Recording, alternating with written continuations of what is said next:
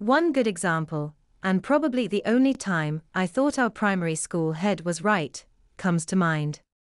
There had been some serious horseplay and bullying carried out on a group of younger kids by three boys and a girl in my form. Our form teacher, male, discovered it and told them all off severely, but then sent the boys to see the headmistress for the strap. The girl was let off. Later, three tearful boys returned. The girl, called Janet, was smirking. A few minutes after the headmistress entered the room and asked for the girl to go with her. For a well deserved strapping. The form master tried to interject, but she was having none of it.